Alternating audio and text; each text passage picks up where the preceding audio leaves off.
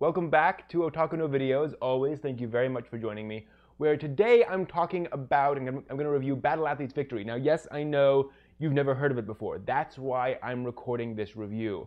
Uh, I stumbled across it a long time ago. It was cheap, it looked cute. I thought, heck, I'll give it a try. And I was sucked in. I was, I was very impressed.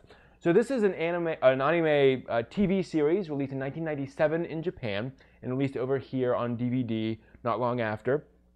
It's based on a futuristic sort of Olympics-style game, competition game for I think the Sega Genesis, from what I found.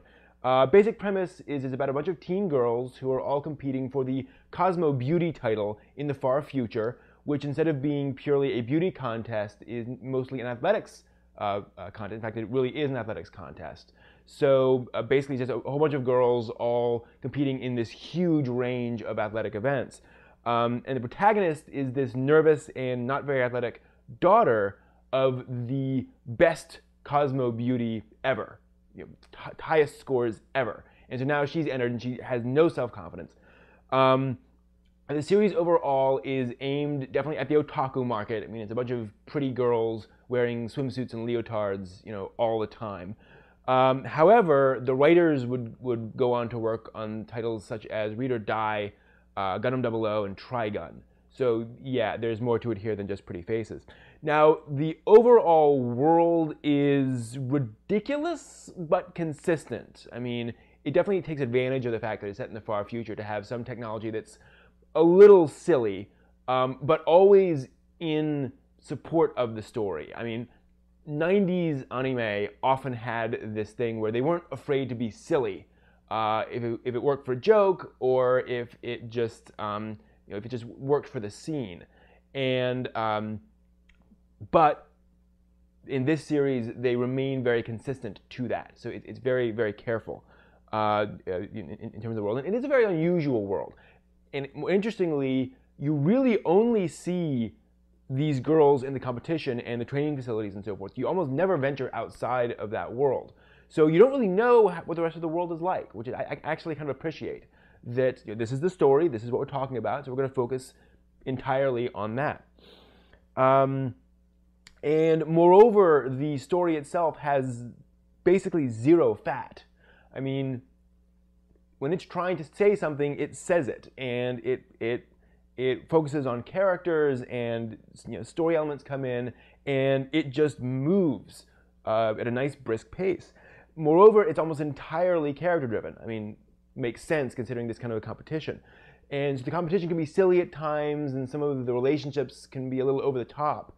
But Battle Athletes Victory is about competition and sport.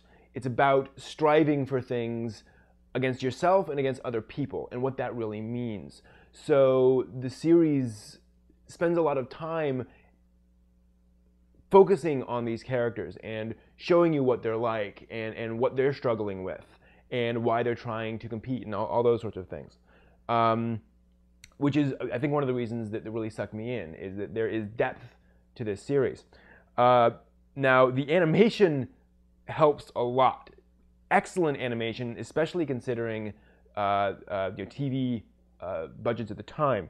A lot of frames of animation, and it just it's pretty darn lush. Now, obviously, some episodes are better than others, but I, I, mean, I had no problems with it. It, it really, really looked good. Moreover, the characters stay mostly on model, although that starts to, to degrade in later episodes. But that's normal for uh, uh, shows of this this time as well.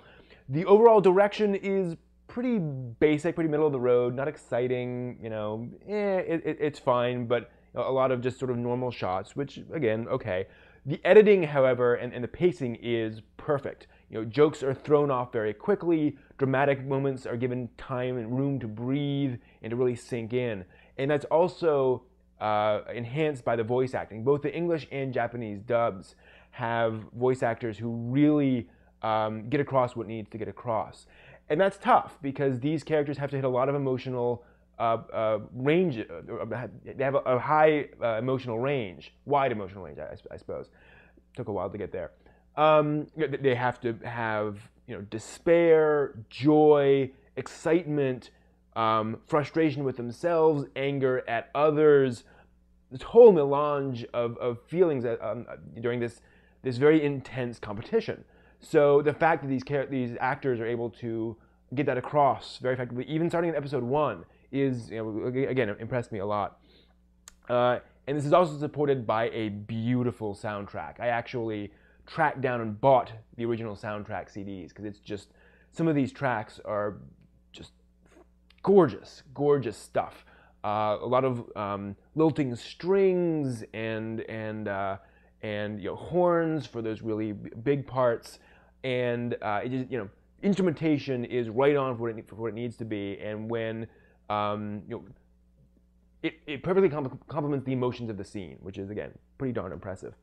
So that's Battle Athletes Victory. I hope you have enjoyed this review and gotten something out of it. Um, if you want to watch it, please stop by streamsuki.com, see if it's available out there for streaming. If you want to talk about cool uh, anime like this, please stop by otakunovideo.net, where we have a forum. We talk about stuff like this. So thanks for joining us. Hope to see you there. See you next time. With blood?